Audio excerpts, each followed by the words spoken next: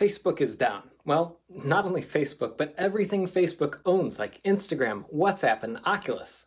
And it's worse than that. Someone at Facebook accidentally messed up their own internal DNS by messing up something called BGP, and because of that, even their physical door access systems are down, meaning people can't get into buildings or into secure rooms where they can start fixing things. And it's actually worse than that. Because of the nature of the problem, they'll have to have network engineers physically access the BGP routers. And because of COVID, some of the data centers probably don't have an engineer on site who can fix the problem.